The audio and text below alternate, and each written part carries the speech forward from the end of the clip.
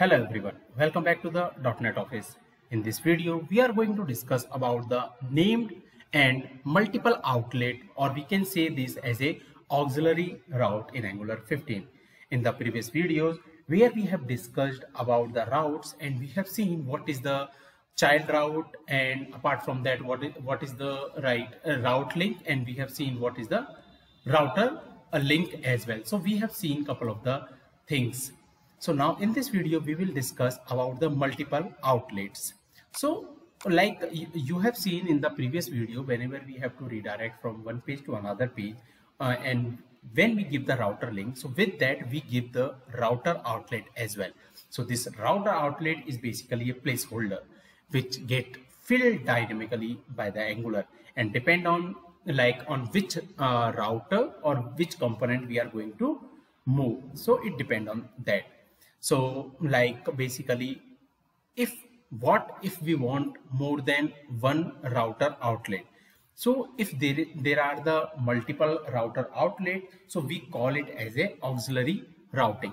So for an example if we want the multiple router outlet then what we have to do the first one will be the default and that is the necessary. Like you have to put it without that it will not work. And if you are going to give the another router outlet then we have to give the name and the name of that outlet like what outlet you want to give. So the unnamed outlet is the primary outlet. Like the thing is whatever the uh, this router outlet is the primary outlet.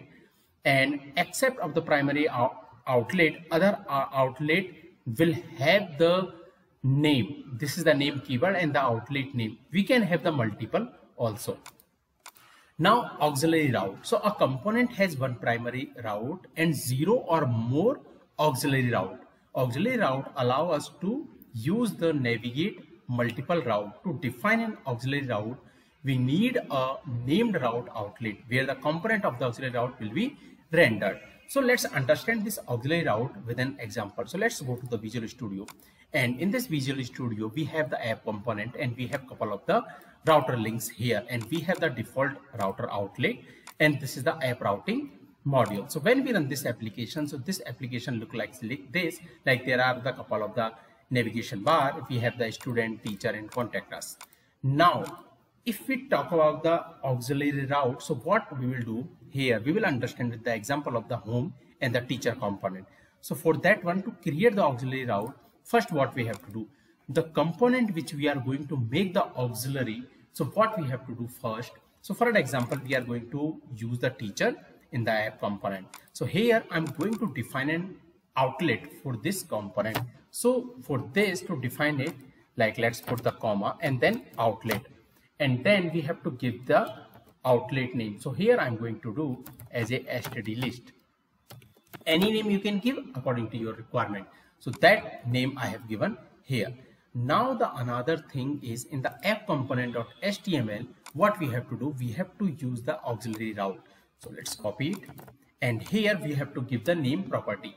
So to give the name property, we have to give the same name, whatever we have given the outlet name here. So this name we have to put it. Now the next thing, like we are navigating from here. Now currently what is happening? We are navigating to the teacher. So when you will click on the teacher you can see it is the primary like the root and then slash teacher. So currently like we are on the different page. So currently it is saying page not found. And the reason we know because now we have put the outlet uh, property there. That's why it is not uh, identifying now the next thing like in the case of the outlet what will happen? In the same page we will have this teacher component.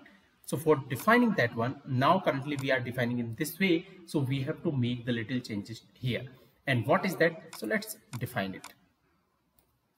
So here first what we have to do in this bracket we have to use the curly braces inside the curly curly braces uh, we have to use the outlets that is the thing. And then colon. And after the colon we have to use the outlet which we have defined here. So let's copy it and put it here and then colon again. And after that what we have to define? We have to define the teacher. So this is this is the routing name. Basically whatever we have given here the same name will come here. So this is the way we define it. So now let's save this one. If you will save this and go in the browser so if you will click on the home so let's go here and navigate to the here. And now when you will go on the teacher you will see uh, like here we are seeing the home works and then teacher works also. Means this teacher tab is basically showing on the home page and the url you can see. Like basically this is the home component and then we are adding the outlet to this one and that is the teacher.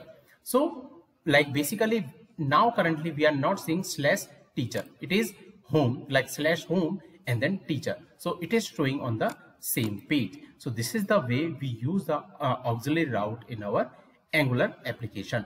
Now another thing what we can do let's go here and go to the teacher html and here what i will do i will create a one button here. So let's create one button and this button name let's give the back and let's attach a one click event to this one.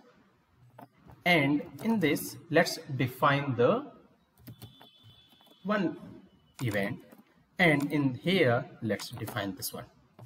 So here what we are going to do is basically here this is the router uh, like object we have so this dot router dot navigate so where we will navigate so here basically we are using the uh, uh, like router outlet so to navigate on that.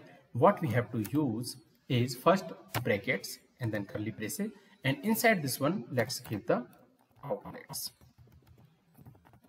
And inside this one what we have to define we have to define the outlet we have which we have taken here. So let's copy this outlet name. And inside this one inside this outlets let's first give the colon here. Now inside this one what we have to do we have to pass as a null here. And after this one let's define this because we have to close this. Now let's save this. Let's go in the browser. Now in the teacher we can see on the teacher tab it is a contain a back button. So when i will click on this back button we are going on the home component again. And again if you will click on the teacher we are coming on the teacher so this teacher component is coming as an auxiliary route and how we define this auxiliary route is basically using this name uh, property which we are having here. So this is the way we use it at, uh, like uh, in the Angular, like uh, basically this is the primary outlet and this is the uh, like auxiliary route or the or we can call it as a named route as well. So this is the way we create uh, the auxiliary route in the Angular. So that's it for this video. If you have any question and doubt, please comment. Thank you.